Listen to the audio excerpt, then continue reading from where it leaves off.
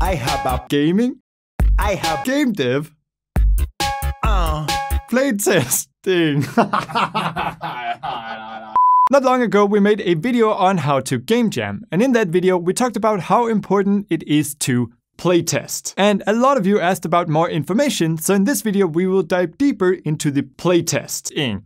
So, playtesting is a crucial part of game development. No matter how good your idea and design is, you can never totally predict how your game will feel in the player's hands. So you will have to playtest a lot, and at many stages of development. I also think that playtesting is super fun. After all, it's the moment where you get to see all your hard work come to life. Exciting and nerve-wracking.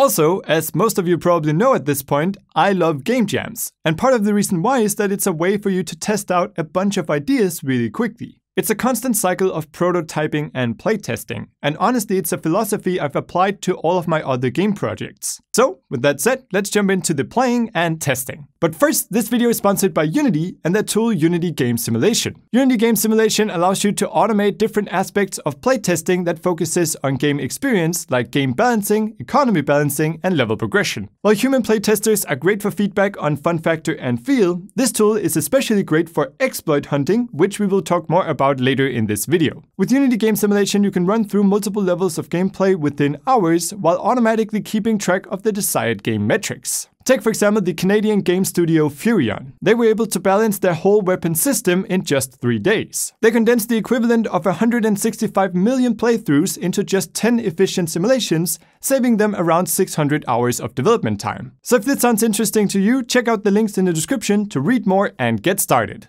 So before we get into the playtesting itself, we first have to figure out when to playtest our game. And I would say start as soon as you have a working prototype. You really cannot test too early, because you don't want to spend a lot of time just to figure out that your core gameplay isn't fun. I made this mistake with my jam game Farm Alarm. I waited until the last minute before playtesting, which was a super bad idea. I was lucky though, because the game worked as intended and I only needed to tweak a few parameters. But it could just as easily have been a total disaster and way too late to fix. So as soon as you have a cube moving around in a level and maybe some enemies or puzzles, go for it. Have someone test it or try it out yourself. This also plays into my philosophy of basics first. This is something I've learned from all the game jams I've participated in. I always try to boil my games down to the most essential parts and focus on that first. This allows you to quickly get an idea of how the game is working before focusing on all the details. Plus it makes it way easier to change direction without it hurting too much, because you haven't spent a lot of time yet. But who should you pick to try out your game? This is actually something that I wouldn't worry too much about, because pretty much anyone can play your game and provide valuable feedback. If they can handle the basic controls of your game, they can playtest it. And it's a good idea to get as broad of a crowd as possible. Everything from experienced players who are good at the genre you're making to more casual ones. Good candidates, depending on the game of course, are kids. They are both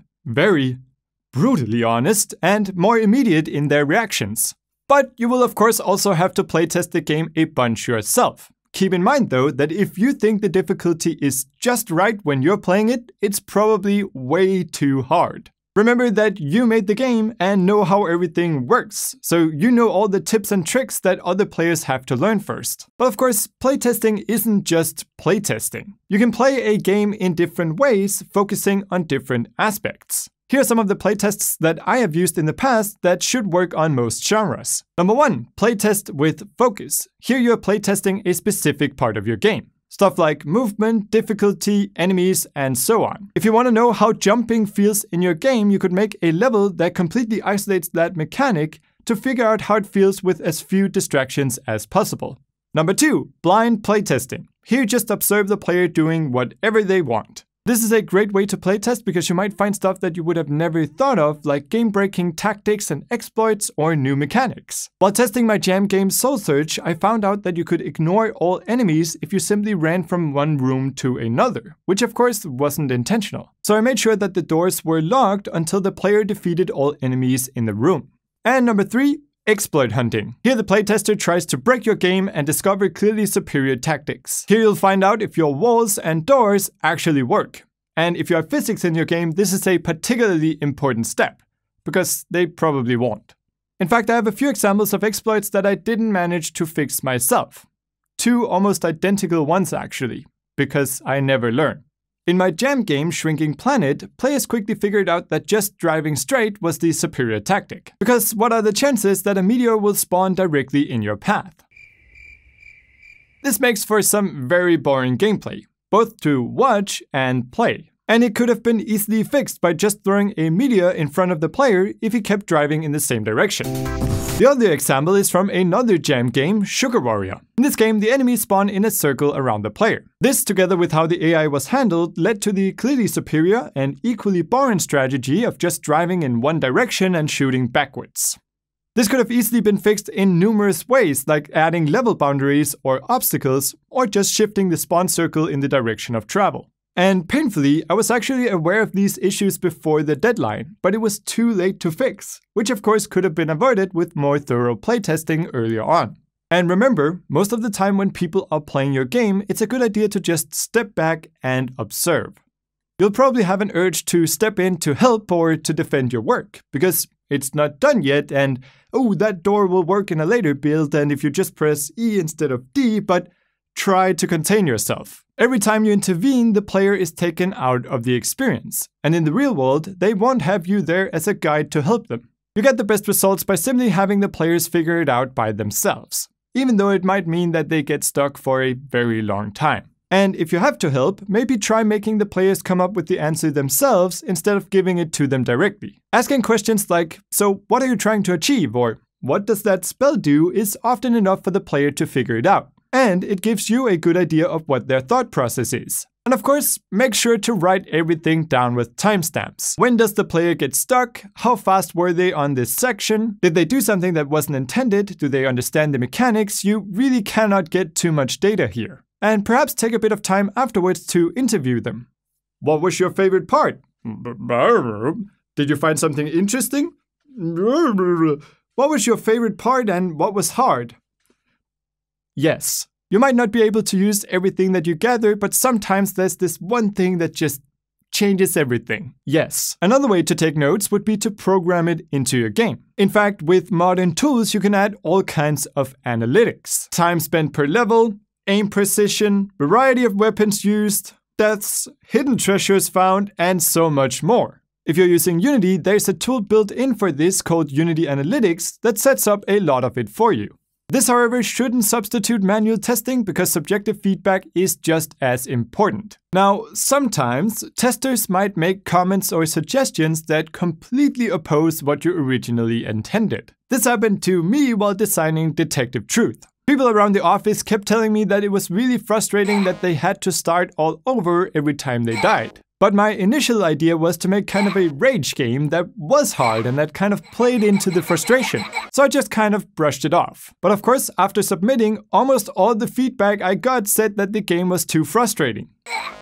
So I should have probably just listened to the feedback and found some kind of middle ground. I could, for example, have made it so that you have three lives that lead to a checkpoint before having to start all over again. There are many ways that I could have kept the original intention and still taken some of the feedback into consideration. But mostly, I just had to stop being so stubborn. Playtesters can also sometimes discover new mechanics that you can reiterate on. Many cool features in my games have come from me or someone else stumbling upon a cool bug that then ended up as a feature. I mean, just look at b-hopping and surfing in Counter-Strike. A guy makes a weird custom map with a slanted rooftop, and suddenly a game dedicated to surfing is being developed. Disclaimer. I know that this is a bug that predates the Source engine and Valve itself because it is based on GoldSrc, which is a heavily modified version of the old Quake engine, but more people know about b-hopping in Counter-Strike than 20-year-old shooters, so it makes for a good example. Yes. While playtesting Date Night, for example, I quickly discovered that many of the levels could be solved in ways that I hadn't intended. Maybe you could reach a platform that I hadn't considered, or just solve the puzzle in a way that I hadn't thought of. And that really left me with two options force or embrace. Force meaning that I would force my original idea by going back and changing levels, making walls higher and moving obstacles out of the way so that you could no longer reach them. The other way is to embrace it and try to fit it into the game in some way. This is the it's not a bug, it's a feature approach. In my case, this would mean keeping the levels as they were with multiple solutions, or making new levels that took these alternate routes into account. What I ended up doing was a bit of both. Some of the puzzles were tweaked so that only my original solution worked, while alternate routes ended up as new levels. I see this as a win-win. Original idea intact and more levels. Nice. So, playtesting can save you a bunch of time when developing your game. Even though it sounds counterintuitive, spending time will save you time in the long run. Design flaws catched early in development will always be easier to fix because levels and systems haven't been built around them yet. Imagine changing the size and jump height of Mario just before release. That's a lot of levels to change. I mean, AAA studios even have entire QA teams dedicated just to playtesting. And it's also getting common to see beta and even alpha tests of games long before they're released, because playtesting is just that important. And that's pretty much it for this video. If you enjoyed it, make sure to subscribe and ring that notification bell so you don't miss the next one. Also, don't forget to check out Unity Game Simulation. Save hours of development time by integrating game simulation into your design flow by simply clicking the link in the description. On that, thanks for watching and I will see you in the next video. Oh, and don't forget to playtest. Thanks to all the awesome Patreon supporters who donated in May, and a special thanks to Face Amerify, Lost to Violence, Love Forever, Replica Studios, Navi Ninja, SRT Mike, Jason Uritescu, Leo Lisette, Piano Sathunlak, Donatine Gascoigne, Dante Sam, Jacob Sanford, Naoki Wasaki, Marc-Antoine Girard, Gregory Pierce, Michael Korobov, The Mighty Zeus, Owen Cooper, Elson the Fierce, Erasmus, and Sirius Wolf. You guys rock.